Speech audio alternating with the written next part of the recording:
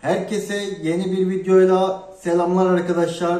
Kanalımıza hoş geldiniz. Bugün kabızlık olan arkadaşlar için e, bir tarif vereceğiz ve bununla kabızlığa bir son vereceğiz.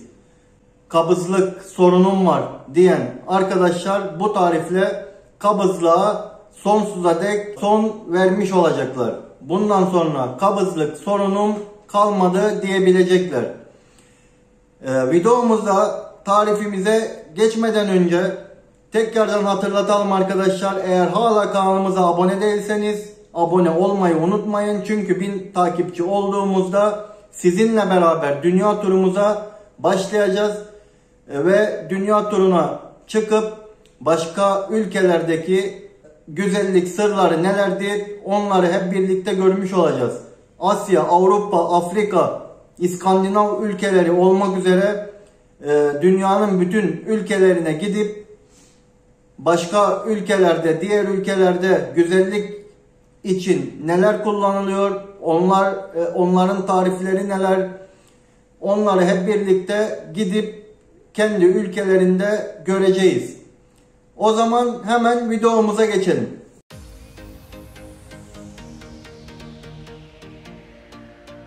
Öncelikle bir çay kaşığı zerdeçal ekliyoruz.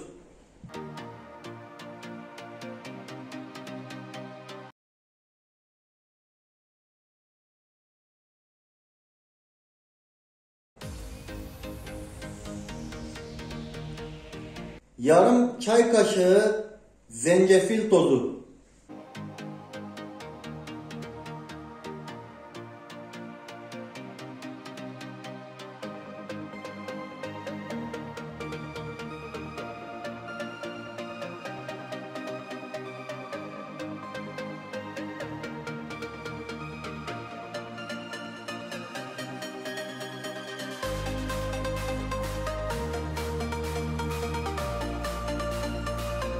malzemelerimizi ekledik. Bu şekilde karıştırdık. Bunları iyice karıştırıyoruz. Ve her gün sabahları yemek yemeden önce aç karna bu tariften uygulayıp içiyoruz. Son olarak sıcak suyumuzu, kaynamış suyumuzu ekliyoruz.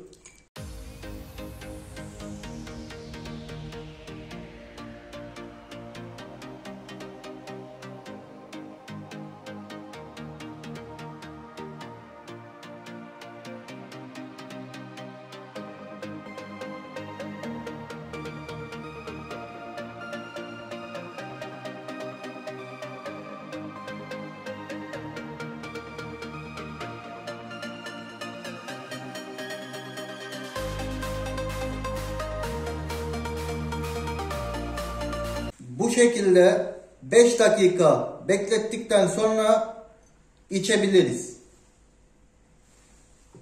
Tarifimizi şu anda hazırladık. 5 dakika beklettikten sonra bunu sabahları içebiliriz. Bu kullandığımız malzemelere alerjisi olan varsa tabii ki önermiyoruz ama bu malzemelere e, alerjisi olmayan arkadaşlar bu tarifi uygulayıp içebilirler ve böylelikle kabızlık sorununa e, engel olabilirler.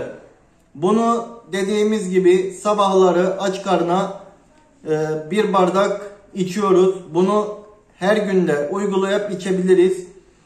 En az bir hafta 10 günde uygulamamız gerekiyor. Eğer 10 gün kullandıktan sonra bırakırsanız ve tekrar kabızlık sorunu olursa tekrar bundan e, bu tariften yapıp içebilirsiniz ve böylelikle kabızlıktan kurtulmuş oluruz. Bugün de videomuzun sonuna geldik arkadaşlar. Diğer videolarda görüşürüz. Kendinize iyi bakın. Bay bay.